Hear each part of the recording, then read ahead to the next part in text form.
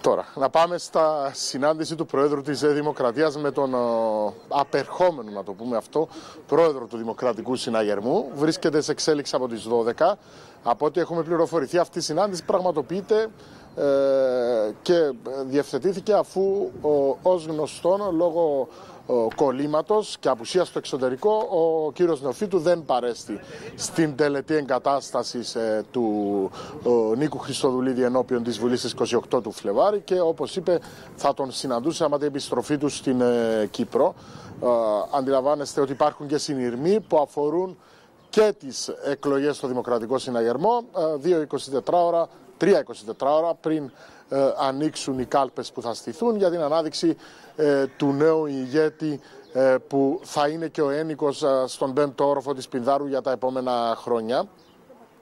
Αναμένουμε λοιπόν να ολοκληρωθεί αυτή η συνάντηση, να δούμε αν θα υπάρξουν δηλώσεις από πλευράς του, του κυρίου Νεοφύτου. Ε, πάντως από ό,τι είδατε και στα πλάνα ήταν εγκάρδιο το κλίμα, τουλάχιστον κατά την υποδοχή του από τον ο πρόεδρο Χριστοδουλίδη ε, και θα ήταν ενδιαφέρον να μάθουμε και για το τι θα υποθεί, εάν και εφόσον υπάρξουν φυσικά δηλώσεις, αλλά και για το τι συζήτηση θα γίνει σε σχέση με την επόμενη μέρα στον Δημοκρατικό Συναγερμό, με την εκλογή της νέας ηγεσίας, αλλά και με τον ρόλο τον οποίο το κόμμα θα διαδραματίσει απέναντι στην ε, κυβέρνηση.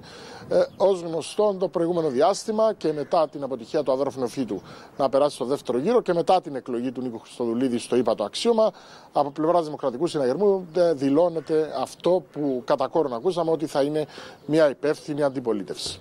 Θα τα πάμε για πιθανές δηλώσεις. Ευχαριστούμε προς το παρόν Μάριε Αδάμου.